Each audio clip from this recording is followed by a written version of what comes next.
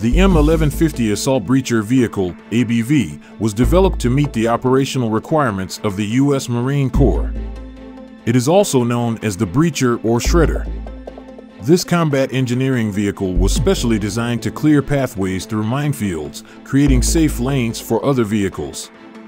It allows assault units to move rapidly through obstacles before enemy forces establish defenses. First prototypes of the ABV were completed in 2002. The Breacher became operational in 2008. In 2009, it saw combat in Afghanistan. The U.S. Marine Corps ordered a total of 45 systems.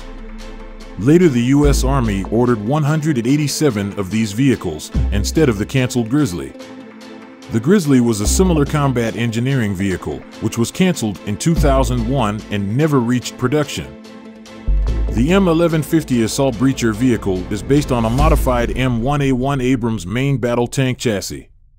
It is worth mentioning that the ABV uses refurbished Abrams MBT chassis supplied from surplus Army stocks. Turret of the M1A1 has been removed and replaced by a new superstructure. A number of proven subsystems have been used on this combat engineering vehicle to reduce development time and cost. Pearson Engineering of the United Kingdom supplied a number of specially designed engineering accessories for this vehicle. These include full width and surface mine plows, combat dozer blades, rapid ordnance removal systems, lane marking systems. This equipment can be rapidly fitted or removed, depending on mission requirements. The breacher is fitted with two launchers for mine clearing line charges, mounted on the rear of the superstructure. These are rockets, carrying explosives up to 100 to 150 m forward, detonating mines, bombs, or IEDs at a safe distance. In this way, it makes safety lanes in the minefields for troops and armored vehicles.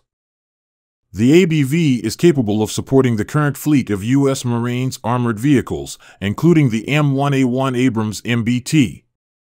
A superstructure of the ABV is fitted with the latest explosive reactive armor package. It provides higher level of protection against anti-tank weapons with heat warheads, such as RPG rounds. This breaching vehicle is heavily armored and can withstand mine damage. The assault breacher vehicle is operated by a crew of two, including commander and driver. It has an option for remote control and can be operated from a distance without the crew. This combat engineering vehicle is armed with a cupola-mounted 12.7mm machine gun, which is operated by the vehicle commander. The breacher is powered by Honeywell AGT 1500 gas turbine engine, developing 1,500 horsepower. It is a multi-fuel engine, which can run on kerosene, diesel, petrol, or aviation fuel. It has servicing intervals significantly longer than of diesel engines, however, it is troublesome to maintain and has very high fuel consumption comparing with diesels. Engine can be replaced in field conditions within 30 minutes. This armored engineering vehicle has speed and mobility to keep up with Abrams tanks do.